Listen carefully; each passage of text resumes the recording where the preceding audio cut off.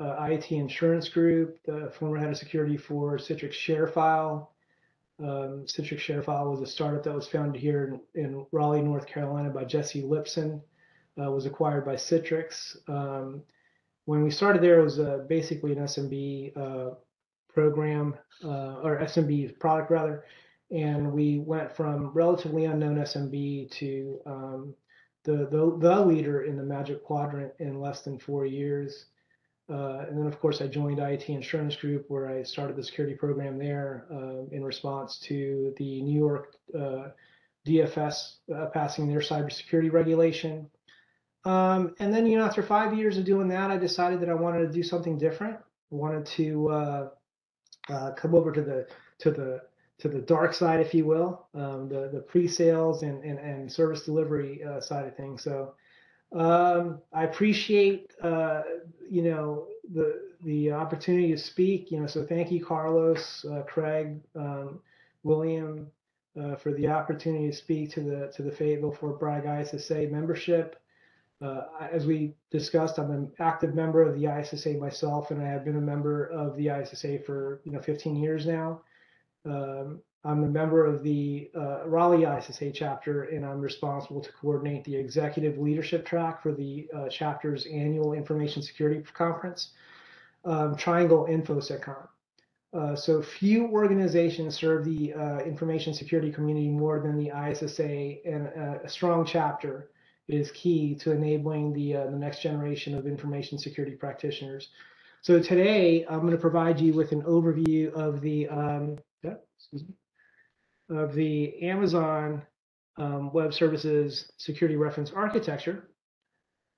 And uh, I want to emphasize that this session is not intended to be a master class on the AWS SRA, but really an introduction uh, to a key area of cloud security that will benefit anyone, regardless of whether you uh, know AWS or not, right?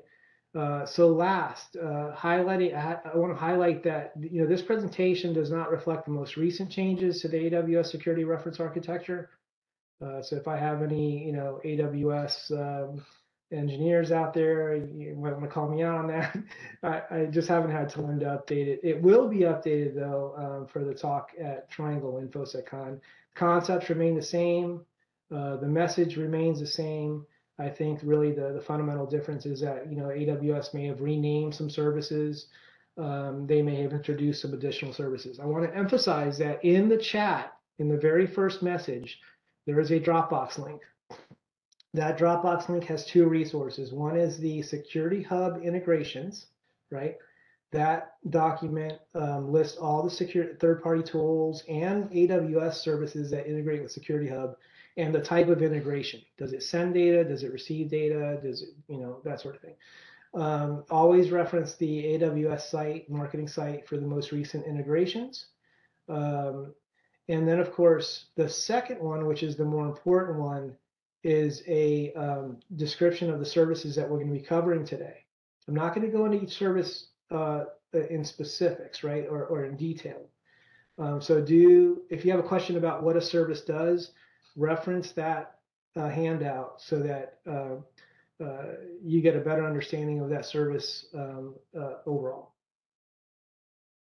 So um, we'll cover a lot of ground today and, and, focus our attention on some very important concepts applicable to the AWS uh, security reference architecture, uh, as well as the organizational structure of the reference architecture and their corresponding accounts. And that'll become a little bit more clear in a minute. We'll highlight the AWS security foundations, uh, including the AWS Cloud Adoption Framework, the AWS Well Architected Framework, and the AWS Shared Responsibility Model. Uh, we'll also cover some important concepts regarding identity and access management, and then, of course, the multi-account strategy within the context of the AWS Security Reference Architecture. So the AWS uh, security reference architecture is a living document and a set of guidelines. It is not prescriptive. Uh, use it as a reference to implement the SRA as a narrative to adopt aspects of the SRA that are relevant to you and, and obviously to your organization, right?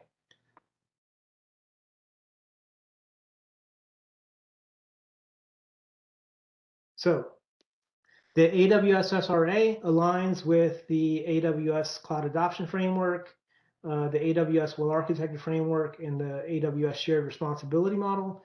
The, the cloud adoption and well architected frameworks propose a set of, of security perspectives and design principles that we'll cover um, at a high level, you know, next. So the security perspectives of the AWS Cloud Adoption Framework helps you achieve traditional confidentiality, integrity, and availability goals of your, of your data and cloud workloads. We'll define workloads in a few slides. It consists of the nine capabilities um, that you see on the screen here. These perspectives ought to be familiar enough to you uh, as they are basic tenets of a, of a healthy, you know, sustainable information security program. Everything from security governance to incident response. The uh, so where the AWS Cloud Adoption Framework um, perspectives frame the overall security strategy, the well-architected principles describe where to start with an emphasis on on four things, uh, or at least four categorical things: identity and access management, monitoring, detection, response, automation using infrastructure as code, and then protection of data in transit and at rest. This is a diagram that, that may be familiar to a lot of you uh, if you've explored AWS um, and reflects the AWS, that, that AWS is a, is a responsibility, or rather, that AWS is responsible for security of the cloud while the customer is responsible for security in the cloud. In other words, AWS is responsible for protecting uh, the infrastructure that runs on the, uh, all the services offered in, in the AWS cloud, while the customer, formerly the tenant, is responsible to secure and monitor the systems, uh, the applications, uh, the code, and the data that runs in the cloud, other than those characterized as serverless, right? So generally speaking, serverless is, is a cloud native development model that, that allows developers and engineers to build and run applications without having to manage the underlying operating system. The only thing they're responsible to do is manage and run the code. So my I went to I went to camp with my kid this year and they have a, a, thing. The teacher says, hey, hey, hey, and the students say, listen up, listen up. So hey, hey, hey, listen up, listen up. These are some important concepts to understand if you're going to peel this onion, okay? Uh, in fact, this and the next slide are key to understanding the security reference architecture and what it's trying to accomplish. So AWS organizations enable you to configure AWS services that apply to all accounts, right? For example, and we'll discuss this in a few, you can configure centralized logging using a logging account uh, that leverages CloudTrail to collect event logs for all accounts. Again, more on this later. So grouping accounts into so-called organizational units enables you to attach a policy, a policy-based control to an organizational unit. Uh, you do this so that you can account, uh, so that all accounts within the OU automatically inherit that policy, right? Does that sound familiar? Sort of like Active Directory. Keep in mind that by default, no access is allowed between accounts, right? Access must be explicitly configured or granted, and uh, you you really ought to um, organize workloads into uh, separate accounts, right? You, this is going to be a recurring theme. I'll probably repeat it two or three more times. Um, you do that so that you can um, enforce security, compliance, uh, access, and billing boundaries um, granularly and categorically, right? We'll talk about that in a few. I can't emphasize enough that that segmentate or segmenting rather your your workloads with um, will make it much easier to categorically or granularly apply security compliance and access requirements, as well as help you determine the cost of running a workload uh, to facilitate budgeting, um, chargebacks. Maybe you want to understand, you know, how much a project uh, is costing or how much a workload is costing in production or how much you know a workload is is costing in in any environment a lower environment like a non-production environment right uh, some important concepts here uh, regarding identity and access management. So remember that IAM principals uh, can do nothing in AWS. um, until you grant them permissions, right? Um, the default configuration supports uh, what we call service control policies as deny lists, right? Uh, to deny specific services and actions. So the reason this is is because deny statements in AWS are shorter, uh, they're easier to maintain, and can be applied conditionally, right? As opposed to allow lists, which really can become cumbersome and introduce a lot of overhead as you as you manage what is allowed and what isn't. So you can use uh, this uh, uh this uh, concept called trusted access uh, to grant um, the CloudTrail service trusted access to create an organizational trail uh, in all accounts managed by the AWS organization. So the S, the AWS SRA uh, delegates administration of security related services to the security tooling account, uh, which we will discuss later. But in this particular case, you can grant that organizational account, um, that organizational trail account or, or login account rather, uh, trusted access to all accounts in order to create that organizational trail and collect those event logs. So delegating administration of a service is as easy as typing the account ID of the account uh, to which you want to delegate administration from within the AWS console uh, configuration page. Um, and that configuration page is associated with the service that you want to delegate. Uh, AWS Control Tower is important. It's been introduced within the last, you know, nine months. Uh, it automates the setup of your so-called landing zone based on best practices blueprints. It applies guardrails and automates account provisioning, right? So remember this, a landing zone is simply a well-architected multi-account AWS environment that is that is really the starting point from which you can deploy workloads. So it's really what we're describing today behind the the the, the, the engine or the concept behind this um, multi-account strategy. So now we'll discuss uh, the organizational units and corresponding accounts. Remember, this is a guideline only, not meant to be prescriptive, and many organizations do rely on third-party commercial off-the-shelf or open source solutions and tools um, that they ought to account for and integrate um, uh, to customize their approach. In fact, I provided you a list of all the third-party solutions that integrate with Security Hub and the type of integration it supports. So please, uh, please reference the AWS marketing site uh, for the latest integrations. Um, but that list is good as of uh, earlier this month, August 7th. So the management account, um, it hosts the root of the AWS organization. It is the most important account. This is where you apply those service control policies we talked about to ensure that member accounts stay within like the account governance structure and the access control guidelines, right? Remember that service control policies don't grant permissions. The only they only affect uh, the only affected rather member accounts. Uh, they only affect member accounts rather, uh, not the management account itself. So when you apply a service uh, control policy, it impacts other accounts, not the member account uh, or not the management account.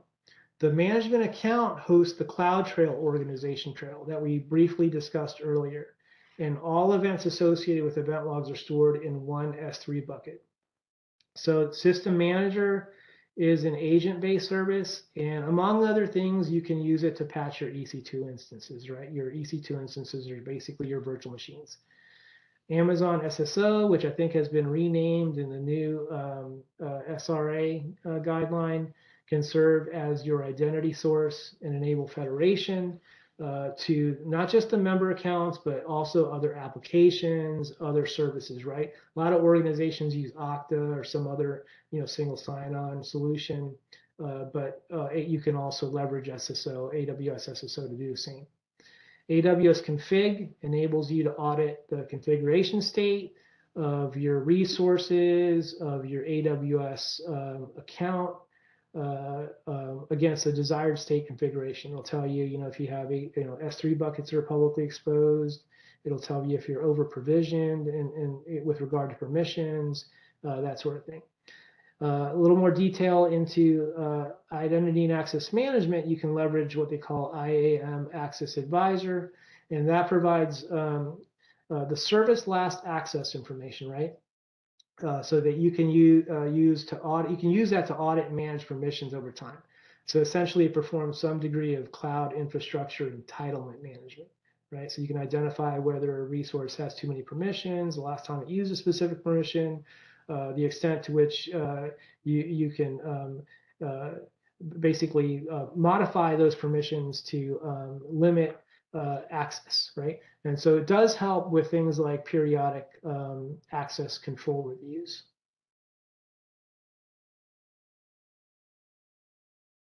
Moving on here to the security organizational unit, which contains the security tooling and log archive accounts. So the security tooling account uh, serves as the admin account for centralized security services, right? It's designed to enforce guardrails and enable monitoring and response for all member accounts, all member accounts, right? So it's a centralized account. This is where your security analysts operate. And you can have more than one uh, security uh, tooling account if you want. Uh, security Hub is designed to ingest data from uh, all the sources, right? Uh, again, reference that sheet. It'll tell you everything that, that Security Hub can ingest.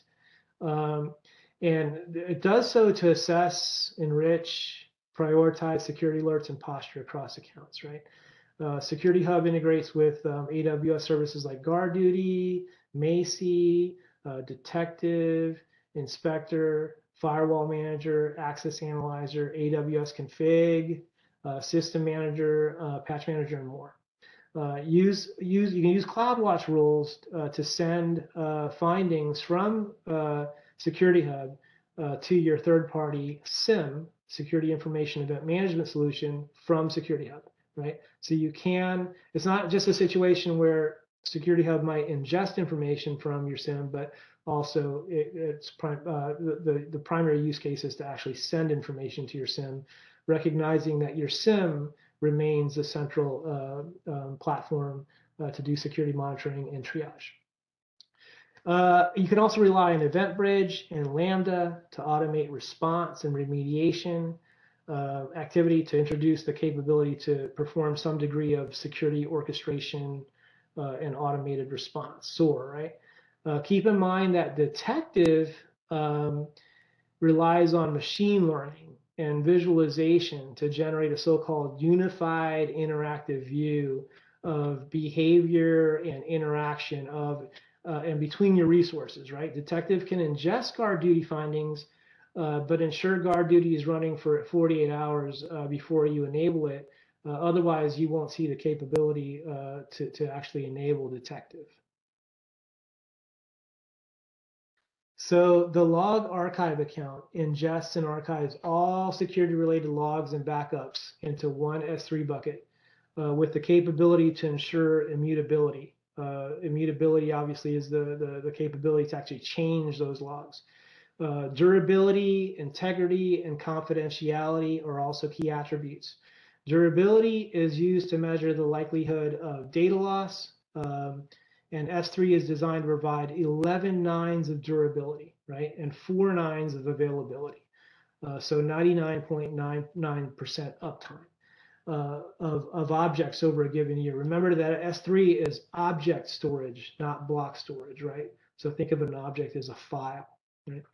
Logs are, are, are archived to ensure confidentiality using S3 server-side encryption.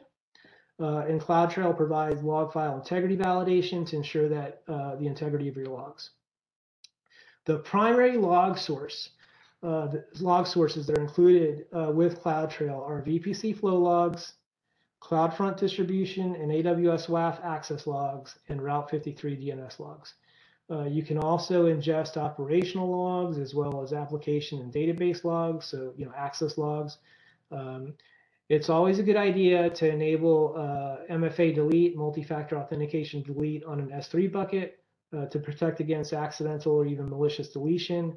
And then always consider storing older log files, anything older than 90 days, in cheaper storage options such as AWS Glacier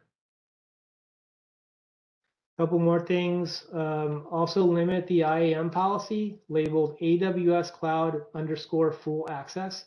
So again, that IAM policy is called AWS CloudTrail underscore full access. Limit this policy to as few individuals as possible because uh, as the policy label indicates, uh, it gives the principal, right, the, the identity, uh, full access to CloudTrail to make any modifications that they want, right? Even delete CloudTrail. Um, rely on AWS config to monitor the configuration state of the S3 bucket to make sure it's not publicly exposed. And IAM Access Analyzer to monitor access, right? You can see who's been who's accessed uh, CloudTrail, uh, who's accessed that S3 bucket um, from an IAM perspective.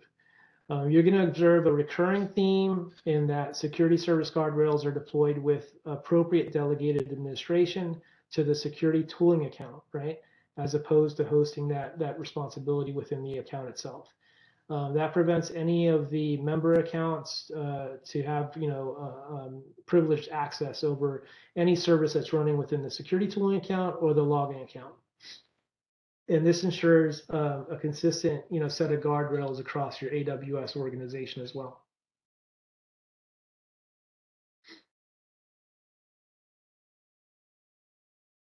All right, so now transitioning over to the infrastructure OU, uh, which contains the network and shared services account. There is some security value in these accounts, uh, so they are important as well. Um, the network account manages the gateway between your applications and the broader internet, right? Whatever workload you're hosting uh, in, in each of those accounts that we'll talk about separately.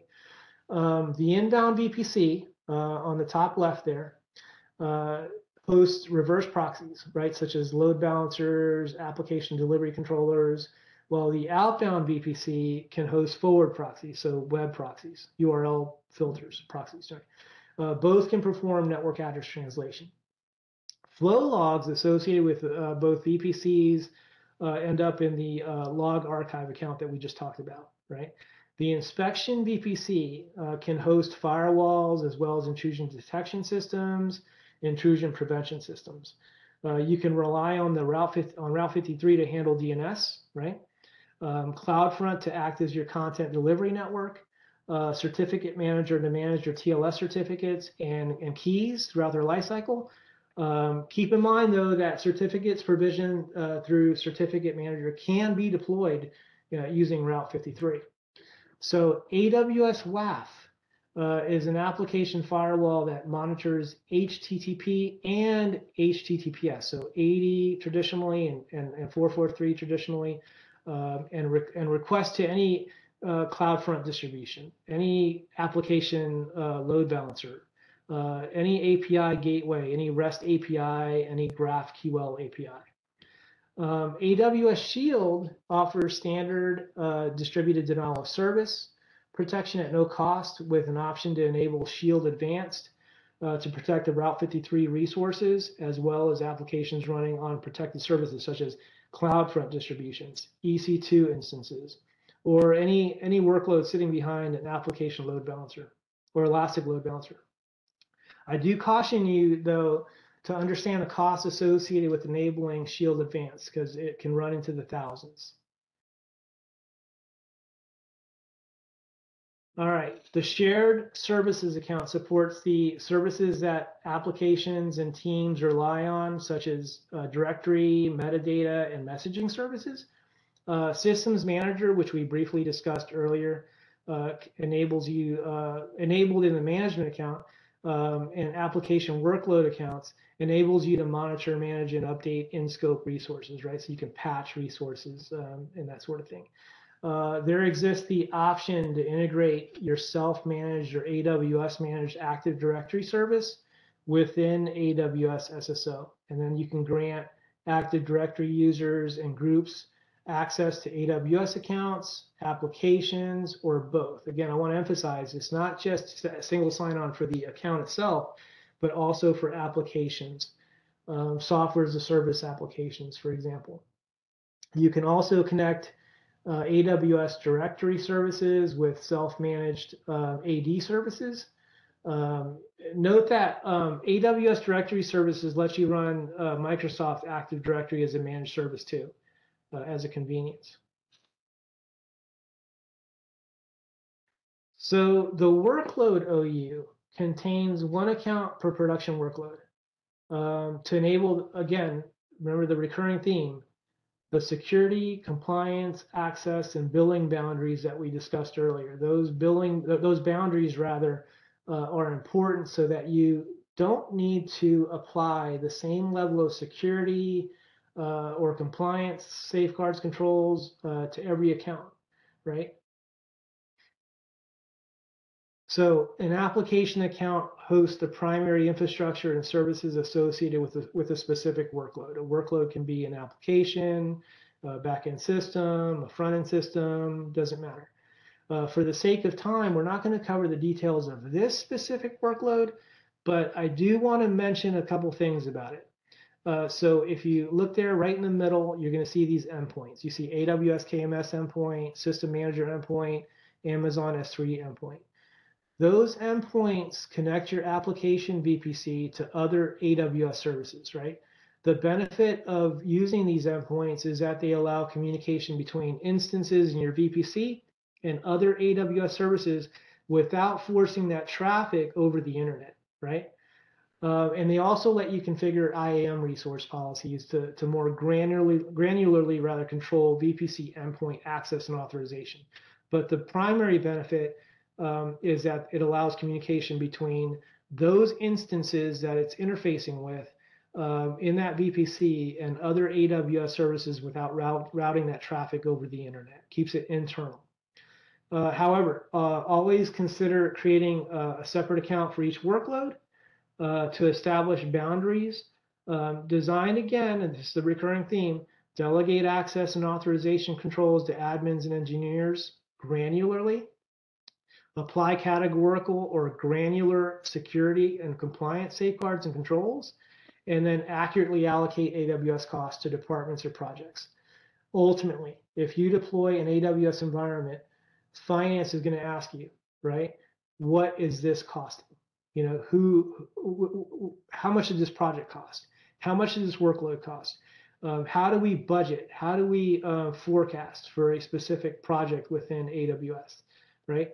Uh, and this is your way of doing that by by by ensuring that you um, segregate, that you segment these workloads into the into separate accounts.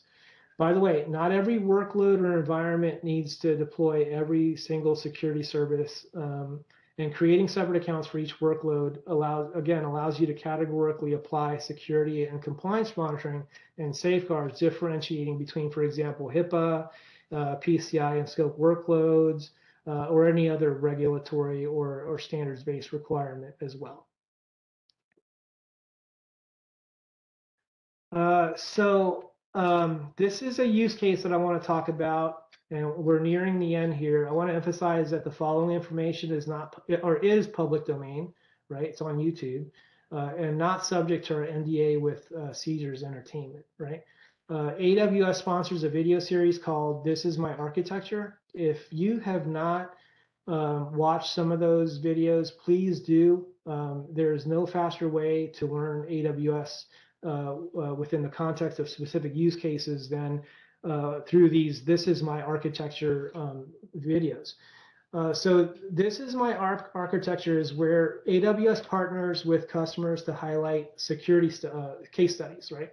Or rather, case studies generally speaking, not necessarily security case studies, just case studies. And for a uh, for a year, I was the interim head of security for the Caesar Sportsbook. Uh, Caesars Entertainment acquired William Hill and rebranded it Caesar Sportsbook. Um, before the acquisition, William Hill partnered with uh, AWS to produce a, a, video case study that is posted again on YouTube. Uh, so on or about November 1st, 2016, uh, William Hill, now Caesar Sportsbook, was a target of, of, a distributed denial of service attack that leveraged the Mirai botnet, um, which at its peak of 177 gigabytes per second overwhelmed William Hill's online service, uh, rendering them unavailable for a period of time, right? In response, William Hill decided uh, to migrate their on-prem service uh, services, which all of William Hill was on-premise at that point, to AWS to leverage AWS Shield Advanced and AWS WAF and really to take advantage of the extensibility of the elasticity of AWS, right?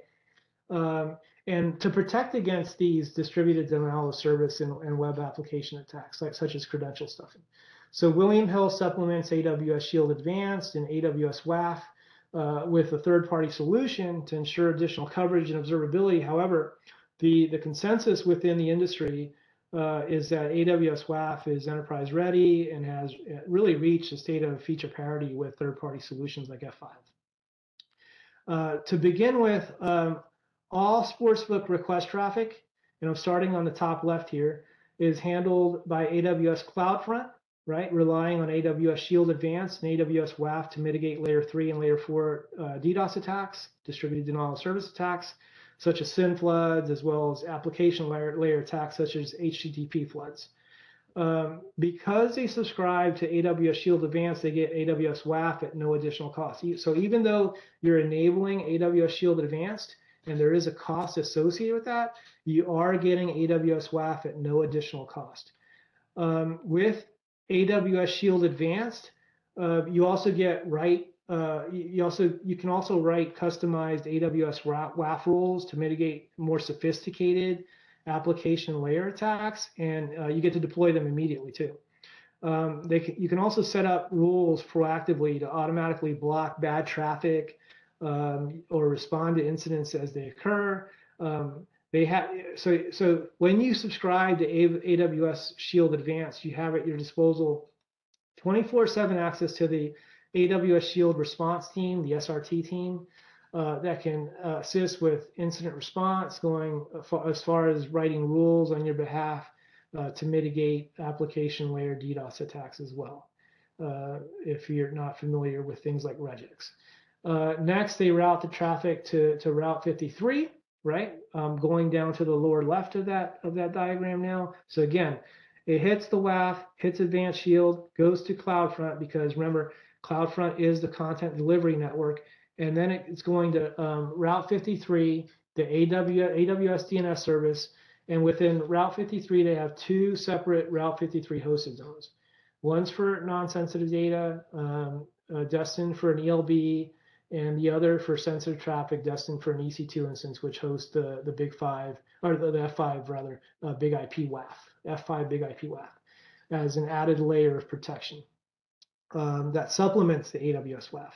And then the ELB and the EC2 instance are hosted within dedicated accounts. And right, um, I'm just to the right of the uh, Route 53 icon in that VPC that's hosting that ELB, uh, and then the EC2 instance that hosts uh, F5 WAF. Um, once the traffic traverses the ELB uh, or is evaluated by the F5 WAF within their DDoS mitigation service, the traffic is routed to one of several AWS accounts via VPC peering.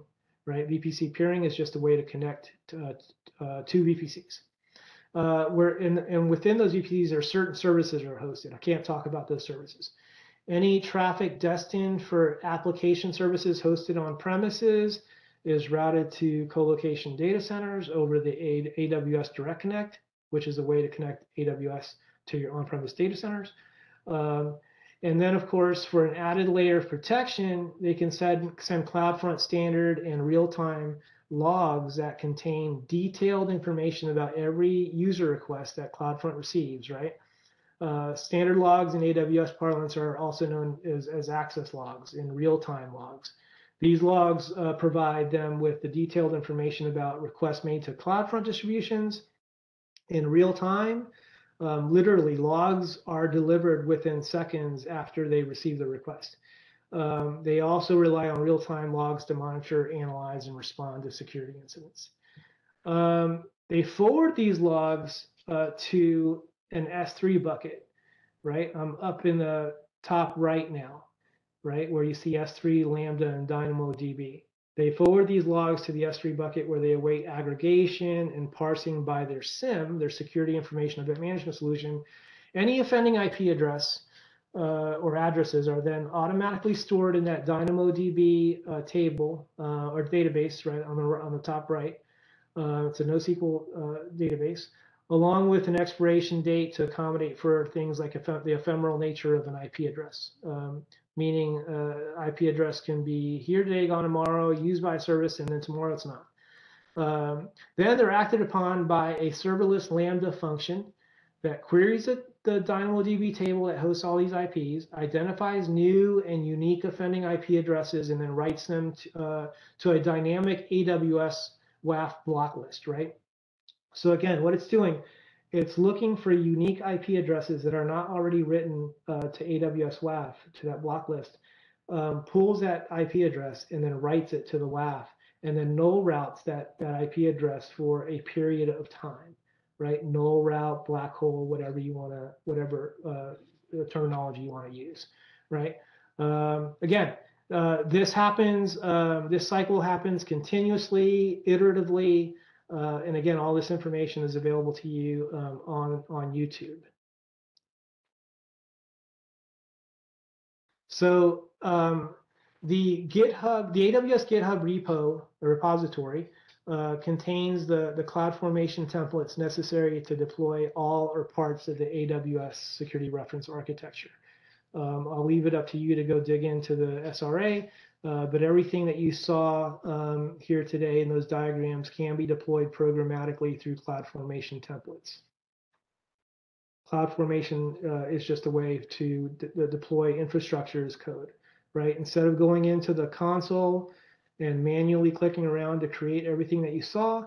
Um, the scripts, um, these templates um, automate uh, the, the, instantiation of these accounts, these services uh, through infrastructure as code um, that is available to you here. So some useful references here. Um, so uh, if you want to learn more about AWS, you want to learn more about the uh, security architecture of AWS, um, please reference these uh, these these references, these these documents.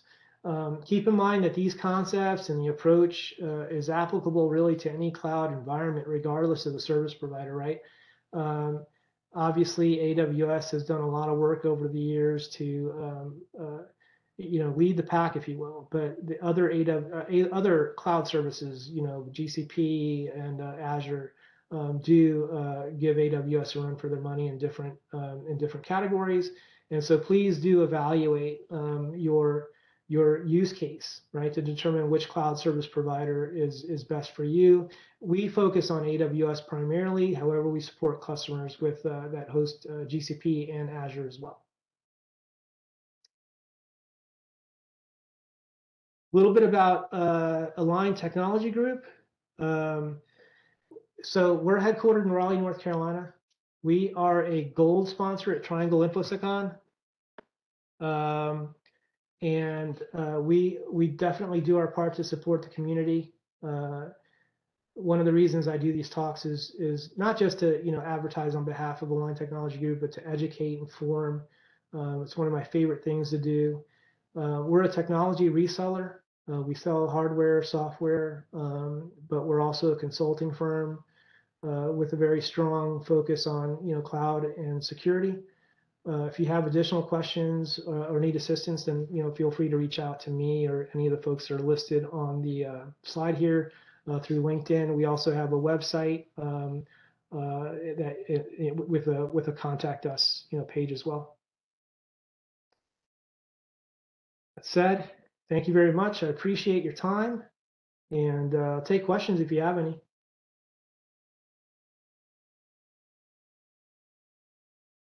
This isn't really a question, but definitely want to say thanks for kind of putting into like an architecture perspective. Um, definitely just recently learned about a lot of the AWS services from one of my SANS courses. So it's interesting to see it kind of all put together instead of all the you know individual pieces and services by themselves. Yeah, no, no worries. Yeah, I, I think that this document is um, probably one of the most important documents that AWS has um, published. I, look, it's not an easy document to read. It's going to take you uh, a couple, two or three reads to get through it. Um, you know, some of those concepts that I described, you know, those IAM concepts and, and the uh, multi-account strategy concepts um, so are, are a little challenging to, to digest, but um, give give it time and and yeah definitely this is one of those uh, documents that really puts things into perspective thank you for that Any other questions?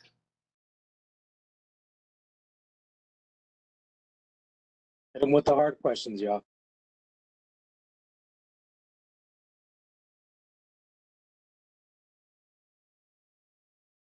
The uh, I don't see the um, chat. Let me pull the chat. Stop sharing and pull the chat.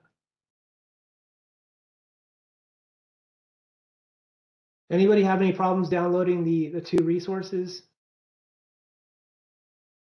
If you if you do decide, I'll add this. If you do decide to read the security reference architecture, uh, familiarize yourself at least with the AWS service descriptions, and that way, when you're reading the um, SRA document, uh, things make a little bit better sense. Um, otherwise, you're, you're going to find yourself stopping, trying to look up what a service does. Um, it's not so important on the first read that you really focus on what each service does, more so uh, that it is a multi account strategy. Uh, there is a concept of a landing zone. Uh, again, if, if you don't take anything away from this talk, uh, take away the fact that you do want to separate your workloads into separate accounts um, so that you can uh, apply those security and compliance controls and safeguards categorically or granularly. You want to make sure that you can answer um, questions around what a specific workload costs the organization so that you can help those organizations, those sponsoring functional areas like marketing and uh, whoever else to, to, to forecast, you know, what it's going to cost them. Also, it helps you identify who the big spenders are, right? Um, and that way you can ask them to dial back if they're, you know, consuming, you know, more resources than necessary. It's a lot easier to analyze one account as opposed to the whole account when you're trying to uh, identify where you're you're spending most of your your dollars. Especially, you know, I hear a lot of folks who say, "Well, oh, it's expensive to go to AWS." Um, it can be, I, I, you know, in in particular use cases, especially when you just lift and shift. If you're just lifting and shifting, you're not doing your job. You know, uh, yeah, I think sometimes it's necessary to do that. You don't have a choice, but take the time to refactor your code. Take the time to refactor your infrastructure, right? Your platform. Um, leveraging uh, native services where possible to reduce costs, because obviously once you start introducing third-party services, whether they're security services, whether they're non-security services, at that point, uh, costs begin to elevate, right? People start to ask questions, right? But you know, it's all, almost always easier to turn on a service, a security service within AWS that already integrates uh, with other services within AWS, Security Hub being the hub, um, than it is to go ask for money to purchase, you know, yet another solution. You can do vulnerability management within um, within AWS. You can do uh, threat intelligence uh, within AWS. Uh, you can do some degree of event logging. Uh, you can obviously do event logging within AWS, but then obviously you want you need some tool to be able to. Um, and Security Hub, you know, can be that tool, but sometimes you want at least one third-party tool like a SIEM to do that um, that triage, right? That, that monitoring and triage. Uh, yeah, I'm going to provide my Prezo to, um, to Carlos, and he will provide it uh, uh, to you guys. I, I, don't know how that happens, Carlos. Is that a link that you provide, or is it on the website? The uh, your presentation, Yeah. We'd probably post it on on the the website, or we'll Okay. share it on Slack. Sounds good. We we probably want to just be stingy with it and make you come to Slack and talk to us there. There you go. and uh, you know, I don't mind if you post it ahead of Triangle InfoSeCon. Not a big deal. I, I've given this talk at the Las Vegas ISSA already. Um, they posted it. Um, but again, if you want a second dose of this, come to Triangle InfoSeCon. I think my talk, uh, I'm on track one, I think, um, somewhere around the 2:30, 3:30 time slot. I forget which one it is.